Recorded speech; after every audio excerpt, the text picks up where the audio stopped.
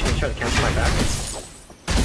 No, I don't think their carry is gonna be doing a lot of carrying considering their fucking support has been like whatever. Blah, blah, blah. Yeah, I kind of I had two unfortunate tower dies where we traded on her, so Oh, not okay. great, but Well, yeah, she's got something.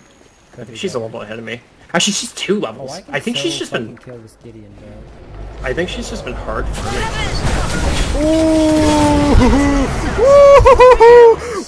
Oh, keep it fucking coming. Oh.